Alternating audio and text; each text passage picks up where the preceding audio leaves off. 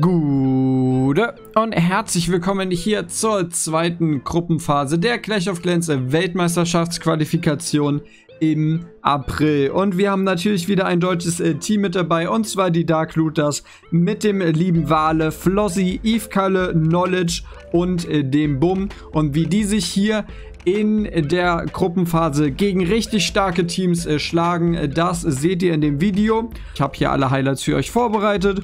Mit dabei im Stream war der liebe Maxi. Da geht nochmal ein Riesenlob an den raus. Er hat das wirklich richtig stark gemacht. Hat sich letzte Season mit Tribe Gaming schon qualifiziert und äh, hat mir hier quasi als kleiner COC-Experte im Stream geholfen. Nochmal vielen lieben Dank und jetzt geht's los. Viel Spaß ist dann auf jeden Fall nochmal was ganz anderes dort anzugreifen auf so einer Bühne. So viele, äh, so viele Leute, die einem auch zugucken. Es sind ja jetzt nicht nur die Deutschen, sondern im englischsprachigen Raum gucken denen immer hunderttausende Leute zu.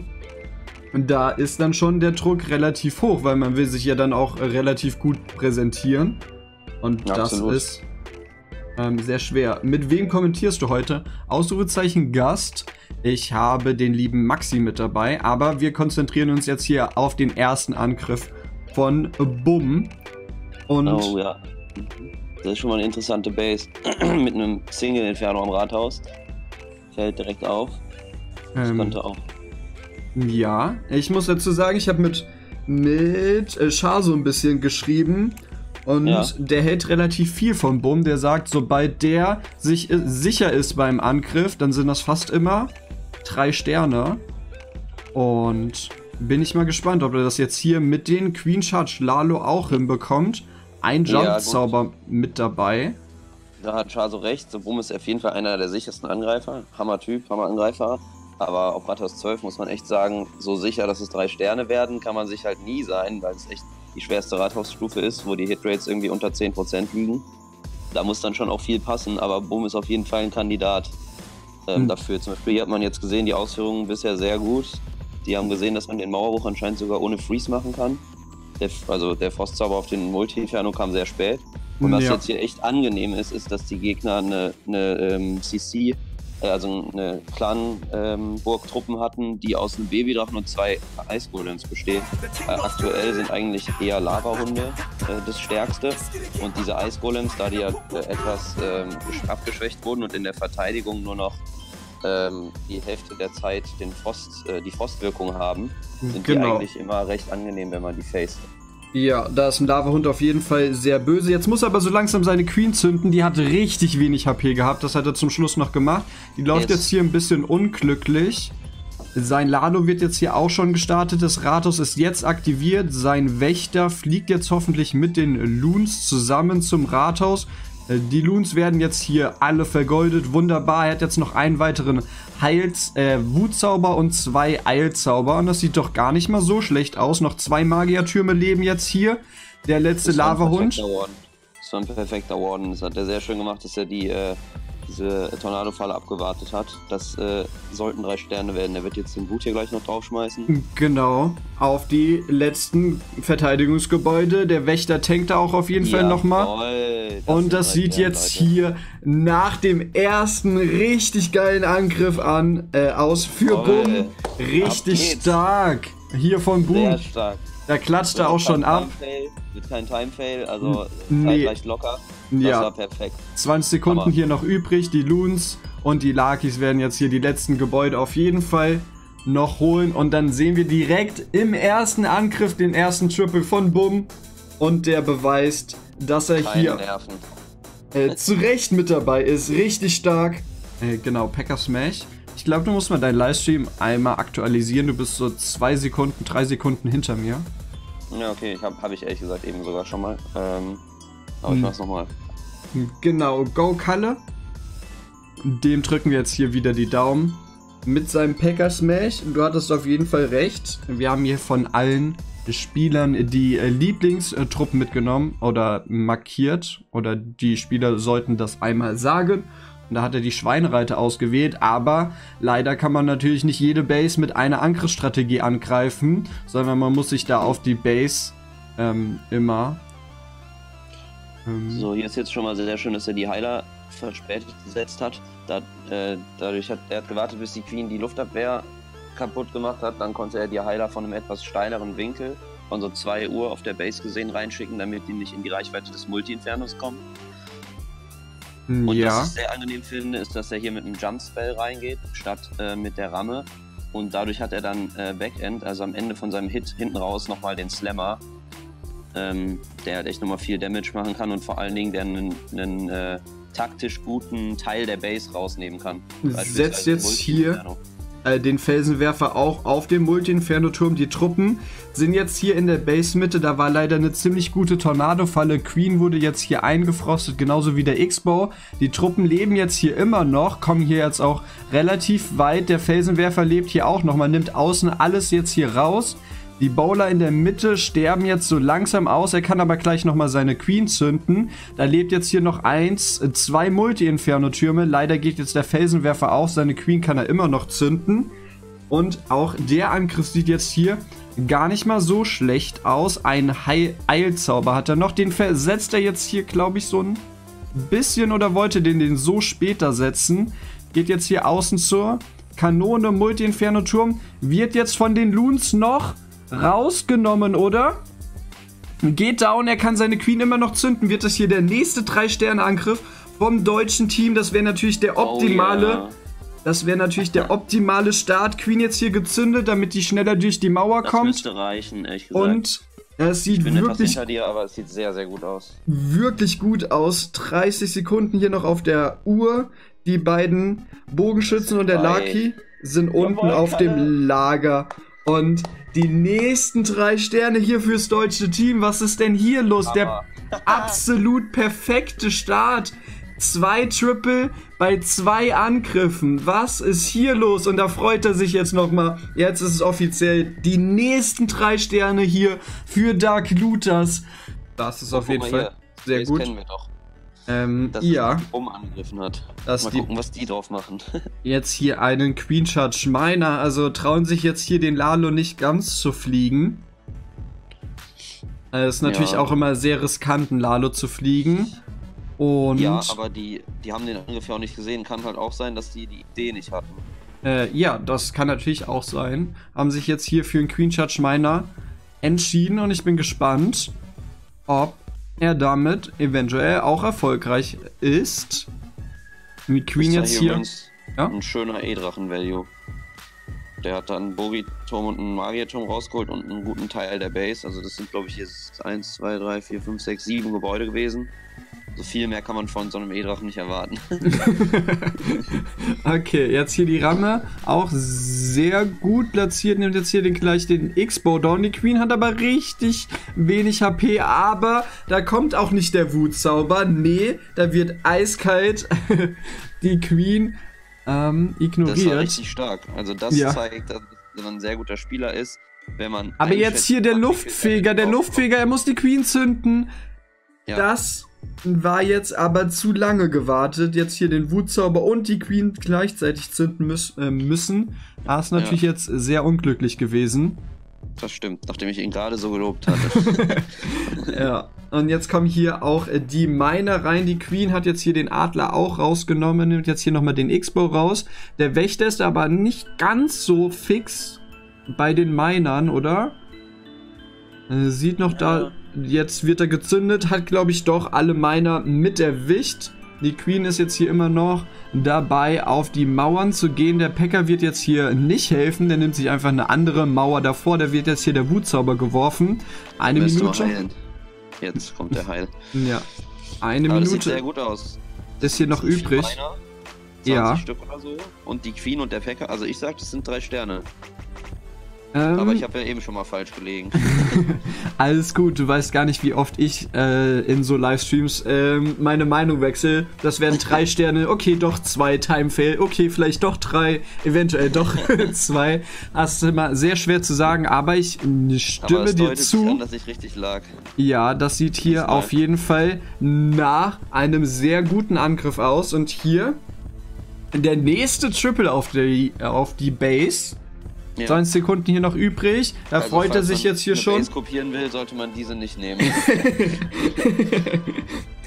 Genau. So, Tesla geht jetzt hier down, 99%. Da ist der erste Triple hier für das japanische Team. Wieder mit dem Packer Smash. Fledermäusen, auch das hat sich ja Guck so. mal, mit sechs Packers, das ist schon krass. Gestern haben wir neun Packer gesehen. Hast du die Angriffe stimmt. gesehen? Alter, ich gesehen. das war richtig lustig. Das war einfach nur noch Packer. Also das war wirklich Ja. Packer Smash, weil das war ein Packer und das war's. ja, ich bin mal gespannt, wie das jetzt hier. Ja, aber also empfehlen würde ich das grundsätzlich nicht. Ich er hat jetzt auch hier irgendwie nicht. zwei Packers Ja. zum Funneln benutzt, sehr, sehr ja, teuer. richtig, richtig teuer. Und da die Truppen kommen jetzt erst hier in die Mitte, aber auch hier eine sehr ekelhafte Base hier von Toto. Äh, Warden oder Wächterfähigkeit, ich versuche es immer auf, Eng äh, auf Deutsch zu halten, die ganzen Sachen. Hier sehr schön gezündet, die Rathos-Bombe. Damit gedodged, die Fledermäuse kommen jetzt hier auch. Frostzauber jetzt hier ein bisschen. Was denn? Weil du gesagt hast, versuchst sie auf Deutsch zu halten und dann sagst du die Rathausbombe gedodged. Ja, ähm, äh, ähm, ja, äh, die Rathausbombe ähm, wurde. Ja, wie sagt man das denn auf Deutsch? Weiß auch nicht, vermieden halt, könnte man sagen. Oder Vermieden. Boah. Das hört sich aber so schon schön, ne? richtig deutsch an. Ist, halt, ist halt immer sehr schwer mit den ganzen englischen Begriffen und das auf Deutsch zu halten. Aber falls ich irgendwelche englischen Begriffe benutze, versuche ich die immer äh, doch äh, ganz gut äh, zu erklären, wenn man dann sowas wie Pathing oder Funnel äh, benutzt. Also ähm, falls ihr da irgendwelche Fragen habt, auch immer gerne in den Chat. Die können euch da auch auf jeden Fall weiterhelfen. Und so schlecht sieht der Angriff jetzt hier gar nicht aus. Er hat noch eine Minute Zeit. Die Queen kann jetzt hier fast alles bis auf den X-Bau erreichen. Und wenn die Heiler die, sich Die Zeit wird leider nicht reichen. Also dafür ist es zu viel. echt bei 75% eine Minute noch Zeit. Ja, aber das, äh, das sind halt. Also das reicht niemals. Echt? Also ich würde sagen, das wird nochmal ordentlich knapp. Also ob es Ja, jetzt reicht, weiß ich nicht. Er hat die, Queen Ability. Das Genau, und eigentlich kann er alles er erreichen, bis ne? auf diesen einen X-Bau. Das heißt, er muss eine Mauer nur noch aufmachen. Und die Heiler. Mh, boah, die Queen muss jetzt hier gleich gezündet werden. Kann die Queen den X-Bau doch da erreichen? Achso, nee, da ist die extra Mauer. Habe ich Das kurz halt nicht bitter gesehen. Gewesen. Das ist bitter, dass die Heiler auf dem Scheiß worden sind. Ja, und nicht das auf der hab ich Queen. voll vertan. Durch die Queen Ability wurde das nochmal gut beschleunigt. Ja, und Äh. jetzt lebt hier nur noch der X-Bau. Vielleicht wird das hier wirklich der erste Triple hier für Quebec. Nur noch der X-Bau lebt. Die Queen muss jetzt hier einfach nur noch Oh, durch die Heiler letzte tanken, Mauer. Die Heiler tanken. Das ist eigentlich nicht mehr so wichtig, Das weil. sind, glaube ich, drei, ja. Ja. doch, weil die, weil die Queen sonst eventuell Queen? gestorben wäre. und Ach so. Hätten die Packers nochmal durch die Mauer gemusst. Aber so. Ah, so Das langt es jetzt hier. Und der erste Drei-Sterne-Angriff hier für Quebec Fury. Ich habe mir aufgeschrieben, Lieblingstruppe von ihm ist der Babydrache. Und er hat einen Babydrachen mit dabei. Dann hoffen wir mal, dass er nicht direkt an der Schwarzen. Schwarze Mine stirbt. Äh, ja. Nee, hat jetzt genau ein Gebäude rausgenommen. Hm. Aber die Loons schaffen dafür dann den Mobiturm. Und damit Ja. hat er schon mal einen Funnel kreiert. Und die Nee. Queen, da wird nichts nach links ab, abdriften. Genau, und auf der anderen Seite der Bowler Bounce auf den Minenwerfer. Der funktioniert immer noch. Die Mauerbrecher Base jetzt hier. Richtig stark. Ja, wir kennen alle Basen. Ich glaube, die benutzen immer die gleichen Basen. Ja, diese Base hat nämlich Wale eben an. Auch mit Packer Smash da oben rein. Okay. Das war das, wo er den Jump-Zauber so spät gesetzt hat. Ah, ich erinnere mich genau. Da war gucken, was. Wie der es jetzt hier macht, ist aber auf jeden Fall schon mal äh, interessant und zeigt halt auch, wie ähnlich wir dann ticken, dann, ähm, dass die den gleichen Plan haben. Ja, er hat aber jetzt hier Auch die mit Mauerbrechern.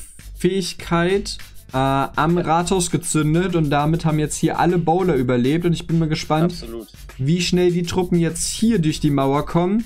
Jetzt auch er wieder das Problem, auch mit der Tornado-Falle, dass die Truppen jetzt hier sehr lange brauchen, um hier Ja. weiterzukommen. Und das war eben schon das Problem eben bei Wale. Jetzt hier der Sprungzauber Boah, wurde geworfen. Felsenwerfer jetzt hier sehr schön auf den Multi-Inferno-Turm. Das war sehr stark gemacht. Mhm.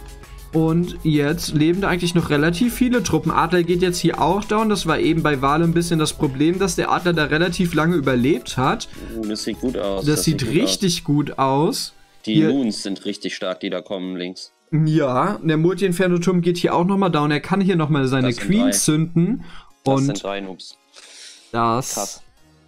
Das war ist schön gemacht. Der nächste richtig schöne Angriff hier von den Japanern. Die haben wirklich hier auf der Bühne nur richtig krasse Angriffe rausgehauen. Entweder war es ein ganz knapper Time-Fail oder wie hier ist das der nächste Triple. 50 Sekunden sind hier noch übrig. Er hat noch einen Eilzauber übrig. Ähm, Boah, das oben das eine Lager, das könnte echt nochmal eng werden, weil die Queen jetzt hier den Jump-Zauber nicht mehr nehmen kann. Und die Loons sind doch relativ langsam. Der muss jetzt hier den Eilzauber gleich benutzen für die Ja, Gruppe. in der Mitte. Äh, ja. Genau. Und der Loons, sobald die da vom Goldlager irgendwie weg sind oder da in der Nähe sind, Das reicht aber dicke. Boah, 25 Sekunden. Was sagt der Chat? Langt das? Nächster Triple hier für das japanische Team. Und ähm, ja, der Lakai hatte auf jeden Fall schon sehr gut vorbearbeitet. Jetzt kommt der Swag. Zauber. Oh mein Gott. Auch nicht schlecht. Deine 11 Euro. Und jetzt sehen wir hier den nächsten Angriff vom lieben Tor. Von den äh, Quick Attack von den Griechen. Und da bin ich mal gespannt. Mit dem Packer Ich weiß nicht, wie nennt man die Taktik? Man nennt die ja nicht Packer Smash, sondern Mm, Äh, geguckt. oder? Achso, Pekka Bobet heißt es. Packer Bobet. Okay, also Packer Fledermaus Zauber, äh, Bowler Fledermaus Zauber. Jo, genau. Und man will quasi in, bei der Taktik versuchen, in der Mitte so viel wie möglich rauszubekommen und dann mit den Fledermäusen den Rest der Base außen, was übrig bleibt, dann rausnehmen. Das sieht hier sehr gut aus. Hier schon beide Multi-Inferno-Türme raus. Der Adler dürfte hier auch gleich sterben. Und dann ist das hier auf jeden Fall schon mal sehr gut. Der Magierturm, wenn er da unten auch nochmal wegstirbt, das sieht, glaube ich, sehr gut hier aus. Die Fledermäuse kommen jetzt hier. Das sind richtig viele. Unten die Queen auch immer noch am Leben. Jetzt ist halt wichtig, wohin gehen die Adlerschüsse. Die gehen jetzt hier auf den König. Das stört soweit nicht. Der Freeze-Zauber hier aber Oh nicht Gott. gut. Der Freeze. Ja. Der Freeze-Zauber hier nicht gut. Und der Multi-Inferno-Turm brutzelt da die ganzen Fledermäuse jetzt hier leider weg. Allerdings, seine Queen lebt da oben noch. Und die geht jetzt hier durch die Mauern. Und oh, was macht die Queen da denn schon wieder? Er müsste jetzt einen Loon auf den. Oh, guck mal da. Da kommt er. Auf den Tesla setzen. Hier Äh, oben auf 12 Uhr. Äh, genau. Äh, die Queen sollte jetzt hier Richtung Multi-Inferno-Turm Es gehen. werden drei. Unten leben auch noch zwei, drei Packer und sogar noch richtig viele Bowler leben da. Das sieht man auch nicht so oft, dass die da bis zum Schluss überleben. Äh, Das sind so, auf jeden Fall drei. Einmal Queen zünden, dann holt die da alles raus. Queen wurde Sehr jetzt hier gezündet, um äh, schneller durch die Mauer zu kommen. Multi-Inferno-Turm geht jetzt hier down. Allerdings oben jetzt hier noch das äh, Gold, äh, die Goldmine, die hier steht. Er freut sich hier, aber in 40 Sekunden sollten die Truppen das auf Ja. jeden Fall schaffen. Die Queen müsste Fall. jetzt hier. Ich weiß gar nicht, wo die Minions sind. Da waren noch Lakaien. auf 10 Uhr. Die sind Ey. anscheinend an einer roten Mine gestorben oder so. Anscheinend schon, aber die Queen jetzt hier einmal durch fünf verschiedene Mauer durchgelaufen. Also die neue KI funktioniert manchmal richtig gut, manchmal ist sie immer noch ein bisschen komisch. Auch Backstage schon ein Triple geholt gehabt. Oh, und jetzt muss er hier die Ringbase angreifen und greift die Ringbase mit E-Drachen an. Und ich sag dir mal was, das ist immer das Unangenehmste. Das So eine Ringbase anzugreifen. Wenn man Ja. die angreifen muss. Ich glaube auch, dass Bei uns wir. hätten wir das Danny angreifen lassen. Boah!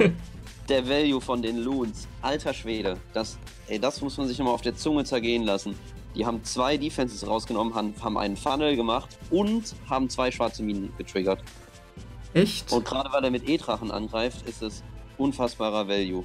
Ja, auf jeden Fall. So, Adler bekommt er jetzt hier auch relativ günstig. Hat jetzt die Ramme noch ausvisiert. Äh, anvisiert. Ich hoffe, das ändert er dann gleich zum äh, Felsenwerfer. Und er hat die Tornado-Falle gerade ausgelöst mit den Ja. Barbaren von seinem König. Richtig gut. Okay. Kriegt Ja. leider die Luftabwehr da hinten nicht mehr. Nee, leider nicht. Die Queen in die falsche Richtung gelaufen. Jetzt kommen hier die nächsten E-Drachen. Der wird, glaube ich, sein, der hat seine Ramme dabei, um damit das Rathaus zu holen. Ach so, als Backend. Ja, Quasi genau. um- Ich, da schickt ihr wahrscheinlich gleich einfach da von 12 Uhr oder so rein, von 11 Uhr. So, und jetzt gucken wir mal, wie die Bounces hier sind. Queen ist hier schon fast down. Jetzt relativ viele Luftskelette da. Oh, die E-Drachen fliegen in die Mitte. Und Ja. Geplant. Und das heißt, wenn er jetzt das Rathaus kriegt, dann wird er wahrscheinlich die Maschine umwechseln von der Ramme zum Zeppelin oder zum Slammer. Rathaus ist down. Und die E-Drachen haben sogar die Bombe gedodged, weil der Luftfeger da alle nach hinten geschoben hat. Das, Ja.